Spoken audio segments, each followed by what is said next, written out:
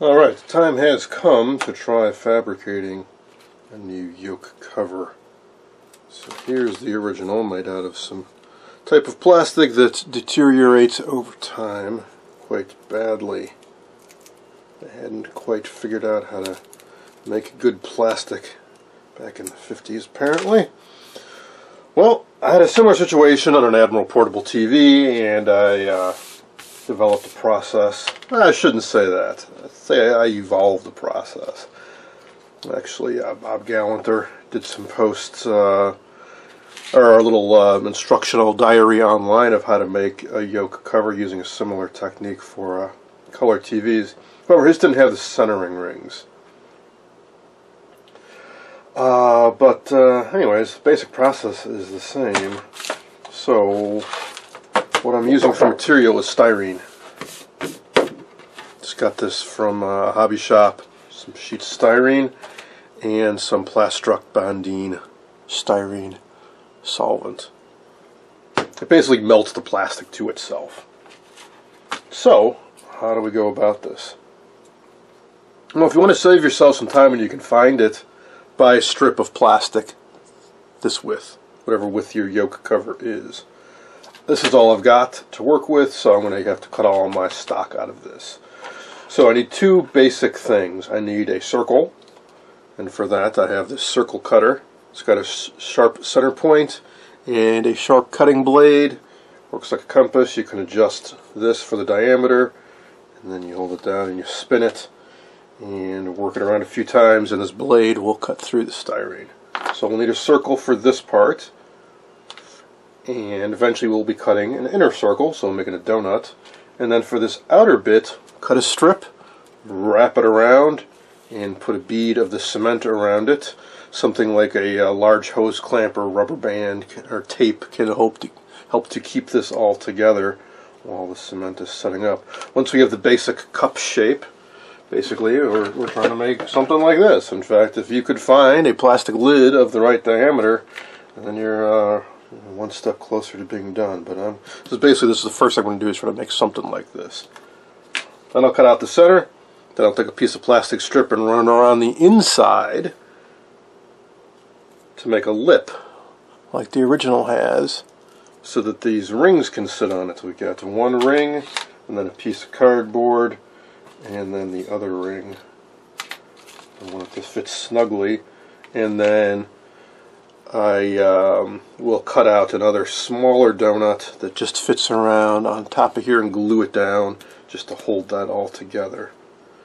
Now there are some various notches and holes and things cut around the outside. I'll wait till the whole thing's done and then see about cutting those. I imagine this one and this one are there to snap on to the yoke to hold it in place. And this cutout might be for the cable that comes down. I'm not sure. Alright, so the first thing I'm going to do is figure out from this warped mess what is the right diameter. I think I will take some uh, scrap cardstock and do some test circles and fit them against the actual yoke to get the right diameter. So uh, me measuring this I don't think is going to yield me an accurate uh, result.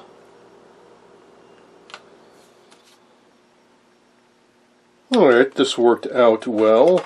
Just a shade over 2 inch radius. And then cut out a plastic disc. And now I'm cutting out a strip I scored it pretty deeply and then you can just fold it over and snap it out. Now this will get wrapped around. It's a little fiddly to do, but uh, once you figure out uh, how long it needs to be and get some tape on it,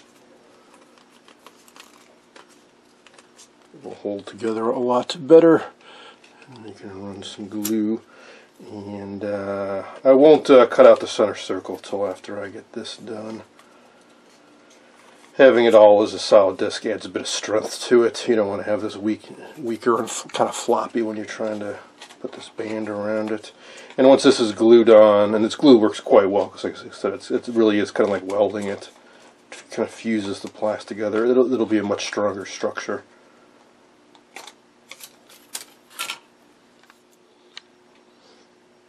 Okay, cut out the strip and I got it taped. Now you notice there's a bit of a gap there. Yeah, it's a little hard sometimes to close that completely up. But best to have this a little bit too long than too short. So what I'll do is get everything down snug, lay out a bead around most of it, let that set up, and then I can get in there and trim that up a little bit and completely seal that down.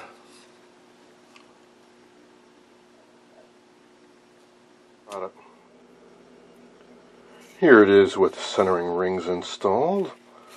So you move these around to center the picture. Now I just need to mark out and cut the uh, notches on the side which secure it and this guy out here which uh, indeed is where the uh, yoke cable comes out. Alright, that ought to do it. I just plunged a soldering iron into the sides to make those holes and cut that out with an X-Acto knife. Doesn't need to be too precise, so let's see how this goes on.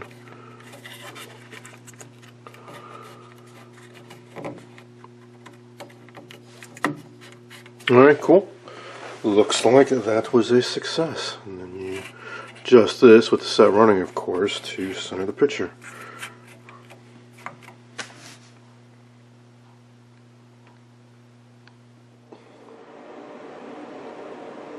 Now, if that wasn't enough detail for you, don't despair because I will be doing another one soon.